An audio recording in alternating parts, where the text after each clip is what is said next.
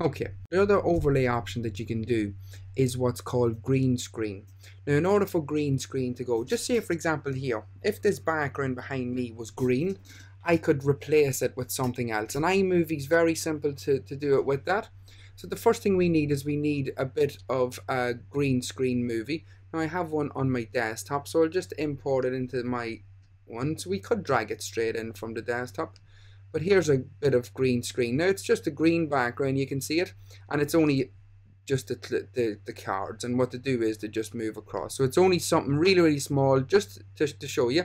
The important thing is that it's a continuous green and that you have good lights set up. So I have softbox lighting set up here, but just make sure you have good lighting set up. Ideally, if you could have a wall that was painted or if you had um, a green sheet, just make sure there's no creases in it. If it was a wall that was painted, make sure it's not shiny paint because you'll get the light shining back of it and the, the camera's going to pick that up as being white. So it needs to be like a flat, matty type finish. So I've selected the video and I'm going to go to import. So it's going to import the video and you can see it here. So what I'm going to do now is I'm going to select all the video. I'm just going to drag it in. Now if I play this across, so I'm just going to play it across as a normal video. So I just press play. So it plays. You can see it's playing that background there. Then it sees that video, it plays it. And then it goes back into the video. Because we haven't put any settings in place yet. It's still in as overlay. So it's still play this video, then play the other one, and then go back to the first one. But what we need to do is we need to click on the video first of all. So I'm clicking on it now. I've selected that video. And what I want to do is I want to go up to the overlay titles or the overlay options so you can see them up at the very top here. So once we click on it, we click on the overlay options, it gives us this cutaway option.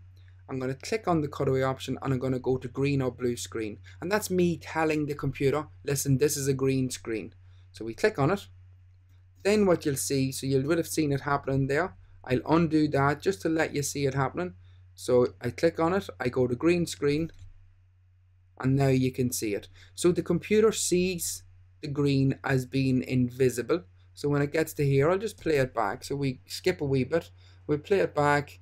Now you can see these things are at the front of the video and then it goes on. So what it does is it removes the green from it.